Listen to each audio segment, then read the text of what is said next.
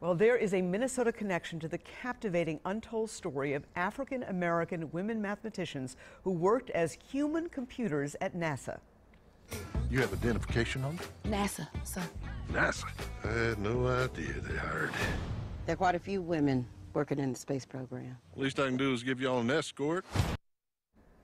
The movie Hidden Figures reveals their critical role in launching an astronaut into space.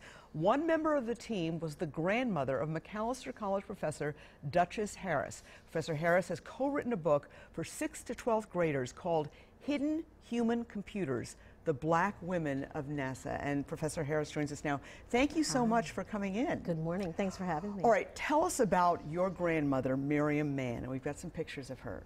Sure. My grandmother was born in 1907. She was fortunate enough to go to college. She got a four year degree in chemistry, and in 1943, she was in the first class of black women recruited to work at NASA. And she passed away, I know, before you were born. Did you know this story growing up? I was named after her. My legal name is Miriam. And I heard the story my whole life, but I didn't understand it until I went to college. All right. You have written a book, and we've got a picture of your book because apparently mm -hmm. it's mm-hmm. sold out at the Science Museum. Uh, you've written, the, the movie focuses on three figures. Mm -hmm there actually were many more people. Uh, there more were women. hundreds. There were hundreds. So a lot of people don't know there are actually 10 NASAs. What I found to be fascinating was that eight were in the segregated South.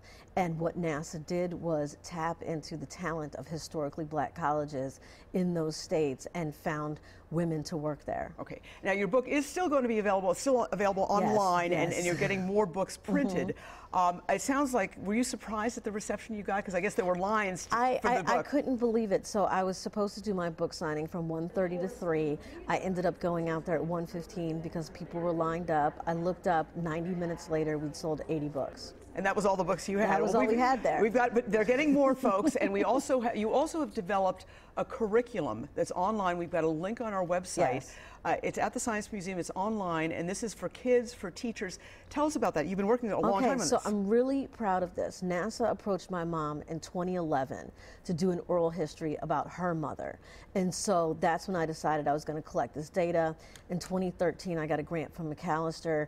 Now I have the only curriculum in the country that can help you understand the long history of hidden figures. Right, and that's what's so amazing is you're saying that there were literally hundreds of mm -hmm. these women doing this all throughout the nation, not just in the state of Virginia. Wow. Um, what, what are some of the takeaways you have? Because you obviously have been living this and, mm -hmm. and, mm-hmm. working on this for, for so, so long. You know, my main takeaway is that the work that women did in STEM was so profound.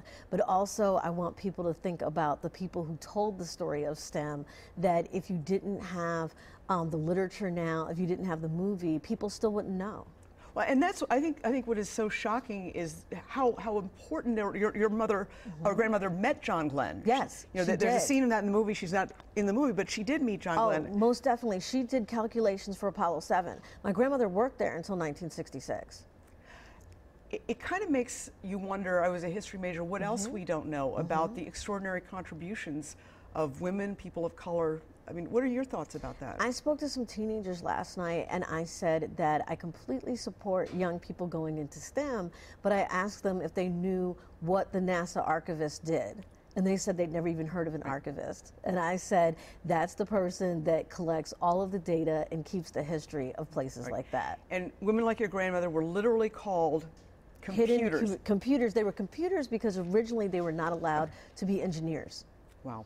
Well, Professor Duchess Harris, we have a link to your curriculum, uh, the book, and give it, give us the title of the book again. Hidden Human Computers: The Black Women of NASA. It's put out by Abdo Publishing, which is here in Edina, Minnesota. All right, and I'm sure that they can. Um, they'll have to print more copies, won't they? Yes, they will. Well, Professor Harris, congratulations Thank on the success you. of the book. We appreciate your time this morning. Thank you so much.